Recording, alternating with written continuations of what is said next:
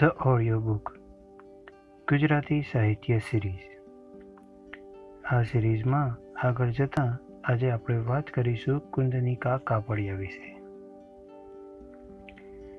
કુંદનિકા કાપડિયા.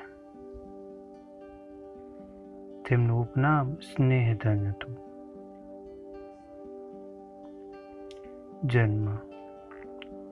તેમનો જન્મ જાન્યુઆરી અગિયાર, ઓગણીસો સત્યાવીસમાં સુરેન્દ્રનગર જિલ્લાના લીમડી ગામે થયો હતો. ત્રીસ એપ્રિલ બે હજાર વીસના રોજ નંદીગ્રામ ખાતે તેમનું અવસાન થયું. તેમના પિતાનું નામ નરોત્તમ દાસ કાપડિયા હતું. તેમની માતાનું નામ રંભાબહેન હતું. તેમના લગ્ન લેખક મકરંદ દવે સાથે થયા હતા. અભ્યાસ અને વ્યવસાય.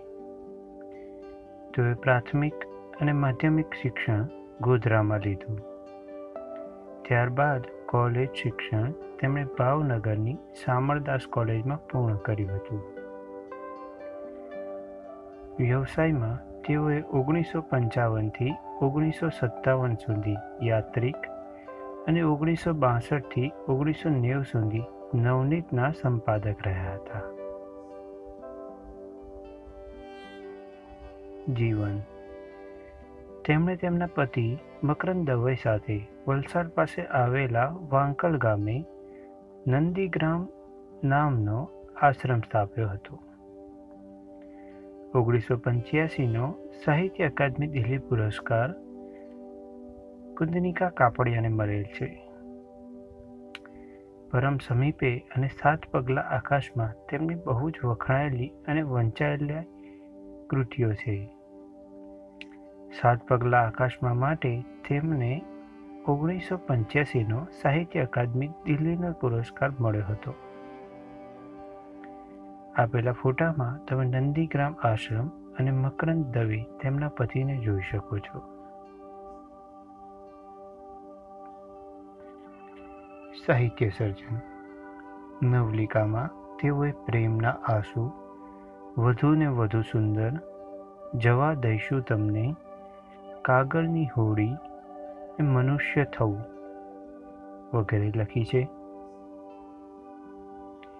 નવલકથામાં તેઓએ પરોઢ થતાં પહેલાં અગન પીપાસા અને સાત પગલાં આકાશમાં કૃતિઓ લખી છે. ઓગણીસો પંચ્યાસીનો સાહિત્ય અકાદમી દિલ્હી પુરસ્કાર સાત પગલા આકાશમાં માટે કુંદનિકા કાપડિયાને મળ્યો હતો. સાહિત્ય સર્જન તેઓએ નિબંધમાં દ્વાર અને દિવાલ, ચંદ્ર તારા વૃક્ષ વાદળ, પ્રાર્થનામાં પરમ સમીપે અને અનુવાદોમાં પુરુષાર્થને પગલે કિશોર ડિટેક્ટિવ, વસંત આવશે પૂર્ણ કુંભ, જીવન એક ખેલ અને હિમાલયના સિદ્ધ યોગી વગેરે અનુવાદો લખ્યા છે. સમાપ્ત તો આ હતી વાત કુંતનિકા કાપડિયાની, જેઓ ગુજરાતી સાહિત્યના એક જાણીતા લેખિકા છે. ગુજરાતી સાહિત્યની આવી જ પરીક્ષાલક્ષી માહિતી માટે અમારી સાથે જોડાયેલા રહો. ધ ઓડિયો બુક ગુજરાતી સાહિત્ય સિરીઝ અસ્તુ.